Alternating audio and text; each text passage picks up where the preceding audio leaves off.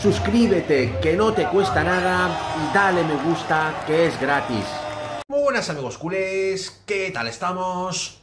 Solo faltan cuatro meses para la mejor gala del balón de oro de la historia. Está claro que va a ser cosa de tres, Messi, Haaland y Kylian Mbappé, pero el astro argentino parte como gran favorito. Sabemos que el balón de oro lo entrega una revista francesa, France Football, y Francia tiene un gran peso en los votos. Pues bien, ya empieza la propaganda francesa en contra de Messi para que no gane su octavo balón de oro. Y todo esto, naturalmente, para que Kylian Mbappé sea el ganador del balón de oro 2023. Una feroz y tremenda propaganda en contra de Messi que roza el odio para que el astro argentino no gane su octavo balón de oro y se argumenta en lo siguiente según ellos. Aunque Messi ganó el Mundial, no ha sido el mejor de su selección, en cambio, Kylian Mbappé jugó la final y ha sido el mejor de Francia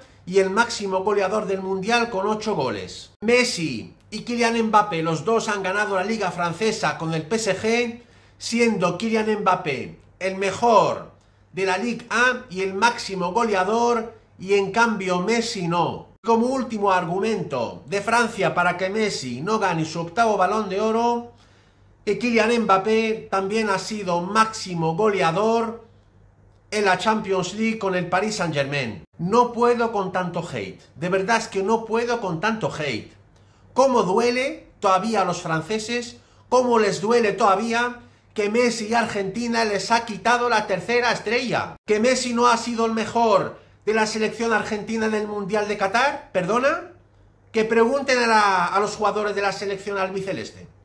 A ver qué van a responder. ¿Me vas a comparar ganar el Mundial con solo ser finalista del Mundial? Los 29 goles que marcó Kylian Mbappé en la Liga Francesa, 15 de ellos son asistencias de Messi.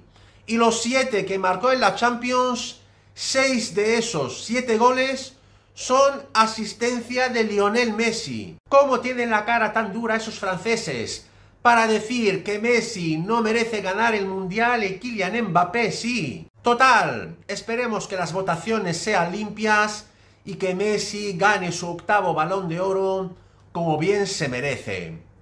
Esta ha sido mi grandísima noticia de hoy, amigos culés. No os olvidéis suscribirse a mi canal, que no os cuesta nada. Pulsar un like como siempre y dejarme comentarios para cambiar opiniones. Muchas gracias. Forza Barça por siempre, vamos a por todas. Y nos vemos muy pronto en mi próximo vídeo.